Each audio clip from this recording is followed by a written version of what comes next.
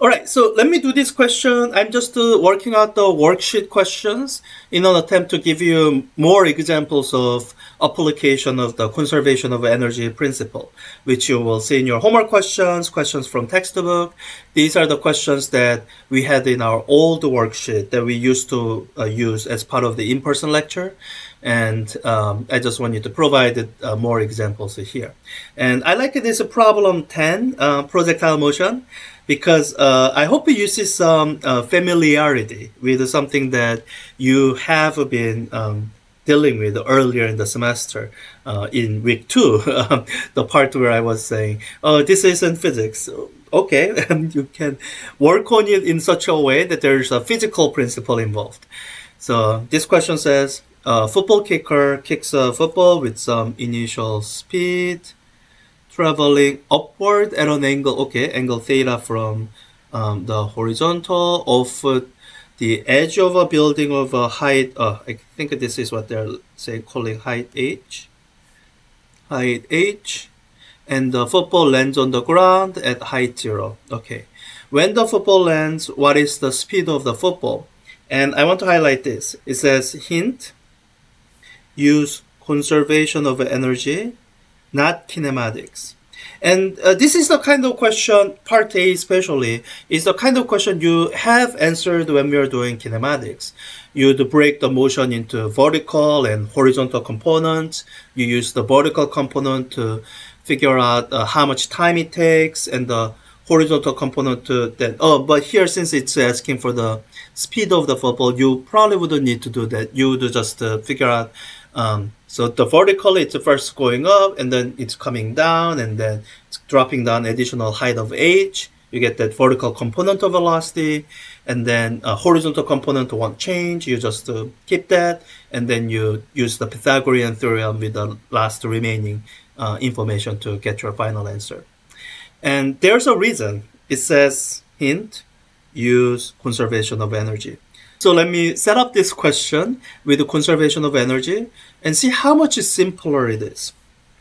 So with conservation law strategy. So this week we are using conservation of energy and next week we'll be using conservation of energy and or conservation of momentum. Whenever you are using conservation law, the very first step you should go through when you are trying to use conservation law is to figure out what quantities are conserved. And some of the invo- will involve your physical intuition. Um, so whether a given setup involves conservation of energy. So uh, with the conservation of energy, um, in order to say that, uh, in order to be able to make this statement that energy is conserved, and by energy we really mean mechanical energy, because if you are talking about the total energy, that's always conserved. Like it's meaningless to ask whether it's conserved or not because it, it's always conserved. But when you are talking about mechanical energy, it might not be conserved. And when you are asking this question, is mechanical energy conserved? The key question is, key uh, question to answer is this uh, answer to this question. Is there non conservative force doing net work.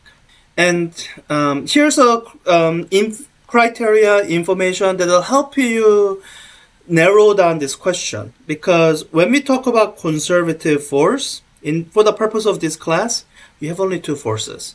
You got gravity and spring force. So this question is really asking are there any forces other than gravity or spring force that's doing that work so for this scenario, like a projectile motion, where we are ignoring air resistance, there is literally no other force other than gravity. So any work done will be done by gravity, a conservative force. So our answer here is big yes. That allows us to use conservation, uh, conservation law uh, problem solving strategy. So that's the very first step you should engage. And in you know a lot of situations, it might actually be if you just guess without going through the analysis, you might get lucky and guess right. Um, I recommend that you actually practice going through this reasoning process. So our answer was yes, we can use conservation law whenever you are using conservation law, you are thinking of the conserved quantity in, two different snapshots. Um, and the conservation law allows you to say that this conserved quantity in one snapshot is equal to the same conserved quantity in a, a different snapshot.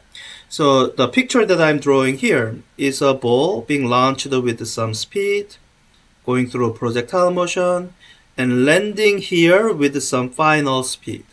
So here, the snapshots that I think will be useful will be this snapshot, one, and then this snapshot, two. I could call them initial and final. Let me call them just one and two this time. So I'll say, okay, based on this labeling, what I'm saying is the total energy in snapshot one is equal to the total energy in snapshot two.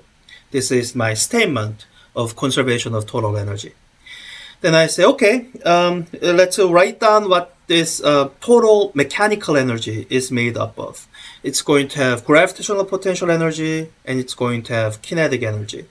So writing it all out, I have gravitational potential energy. This is at some height. So it's going to be mgh plus kinetic energy, uh, initial speed of v naught. So it'll be 1 half m v naught squared is equal to and then the final total energy will be it's at height zero so the gravitational potential energy will be zero plus the final um, let's label this v2 uh, final speed of the football it will be one half mv2 squared. Now for those of you who are traumatized by our treatment of projectile motion in kinematics might be wondering, uh, is this enough? Uh, don't we have to worry about velocity being vector and you know the vertical direction separate from horizontal direction? My quick and short sweet answer is no. That's the wonderful thing about using energy and using energy conservation. One, energy is a scalar, which means all the vector stuff, you don't have to worry about it. Energy is a scalar.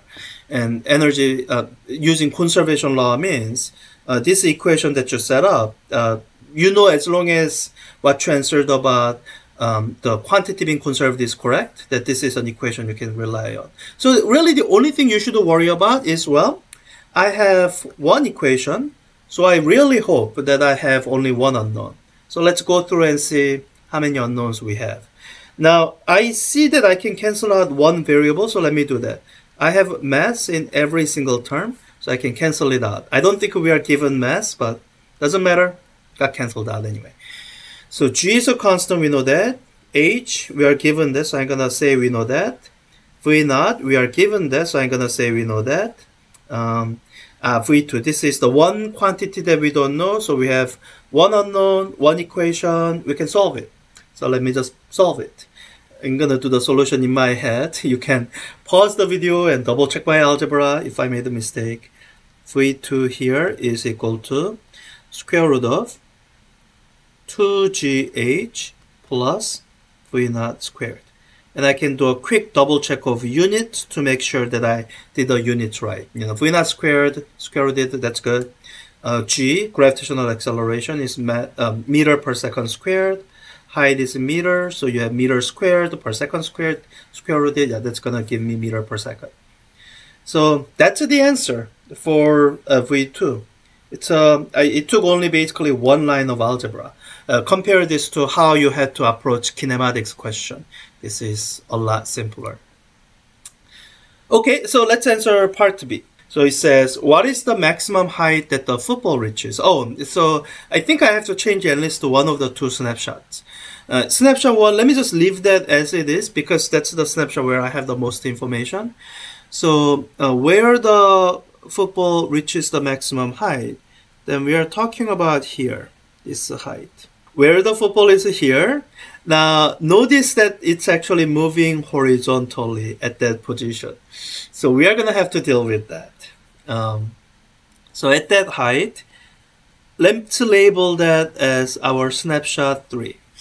So, uh, and nothing about conservation of energy has changed. So we can still continue to use conservation of energy. We're just working through um, um, different snapshots this time. Before we used the snapshots 1 and 2. Now we are going to say the total mechanical energy in snapshot 1 is equal to the total mechanical energy in snapshot not 2, but in snapshot 3. Okay, so let's uh, work through it again. Uh, let me just not pre-cancel the masses in case they don't cancel. I think they'll cancel, but let's just leave it be. So the left-hand side of the equation, that's fine. Don't need to change anything. That's the total energy in snapshot 1. So the right-hand side that now needs to change. So what we are saying is um, the maximum height that it reaches. Let me introduce a new label for that, H max. So it'll have some gravitational potential energy at that height. It'll be mg times h max plus. It'll have some velocity as I labeled. It'll have some speed. So I need to write down its kinetic energy. 1 half m vx squared. Okay, so that's my equation 1. And we go through the same thing that we did the last time. Uh, really, the only thing you need to check um, for this part B is um, do we have the right number of equations and unknowns? We have one equation, so we are hoping to see that we have one unknown. Let's see. So mass, I can see that it will cancel out again, so let's just cancel out the masses. It's not an unknown, cancels out of the expression. G is known, H is known, um, V naught is known, G is known. H max is not known. This is one of your unknowns and uh, Vx, let's say it's not known. I don't have anything where I can refer to it and just write it down. So I have two unknown and only one equation, which means we basically need more information. And the way information is presented in a physics problem solving context is in the form of an equation. So we need to find additional equation, one that we can label as our equation 2. And I think staring at it, I get some idea. We were given the angle that we never used.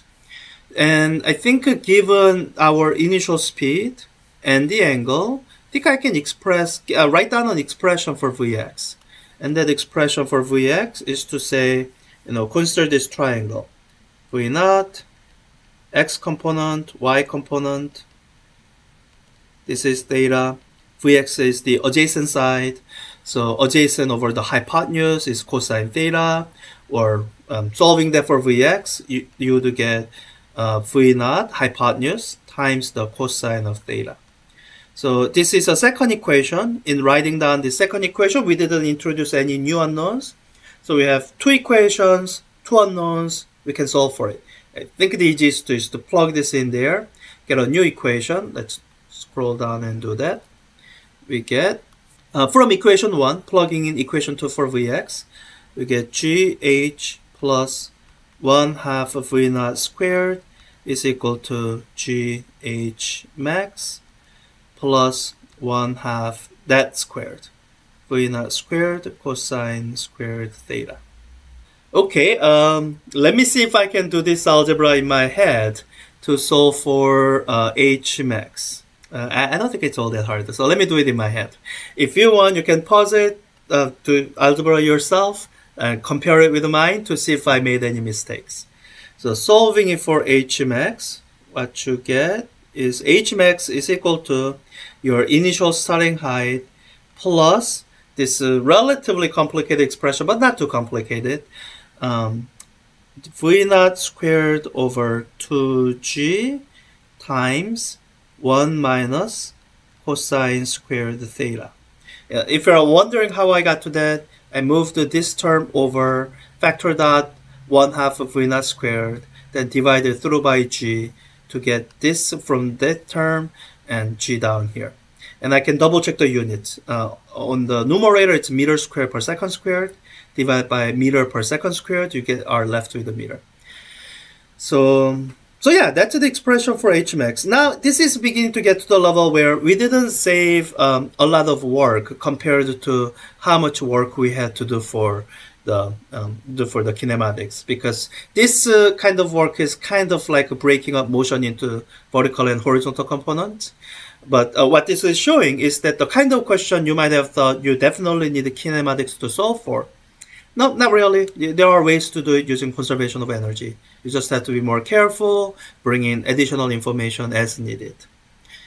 Part C asks, in above calculations, does it matter whether the kinetic energy in horizontal component of motion is included in the calculation? Explain why or why not.